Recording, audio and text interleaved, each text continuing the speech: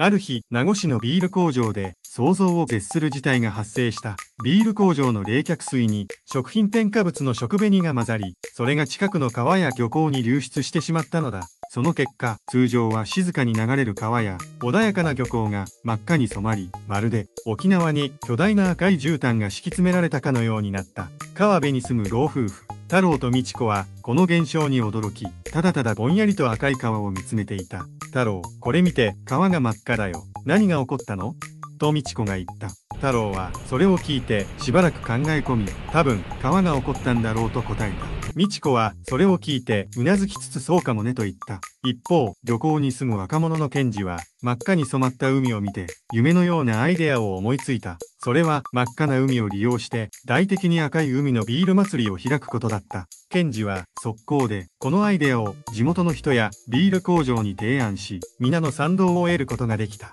そしてついにビール祭りの日が到来。賢治たちは海岸にビールスタンドを設け地元の料理を出し、ライブミュージックを演奏し、ビール工場から流出した赤い海を背景に、楽しいビール祭りを開いた。地元の人は、この驚きのビール祭りを大いに楽しみ、ビール工場から流出した赤い冷却水も、なんだかユーモラスなエピソードに変わった。ところが、祭りの最中に、一件の問題が発生。真っ赤な海で泳いでいた太郎が、突然自分の体が真っ赤に染まっていることに気づき、慌てて海から上がった。周囲の人も驚き、あっという間に騒動に。それを見た美智子は、太郎の赤い体を見て、太郎、あなた、まるでエギミ、太陽と言った。これを聞いた太郎は、自分の赤い体を見て、まさか、エビになったのか？と思い、ビールを手にもし、エビになったのなら、ビールと一緒に食べられてしまうかもしれないと言った。すると、周囲の人は、大笑い。太郎さん、エビになったら、ビールに最高に合うよねと、声を揃えて笑った。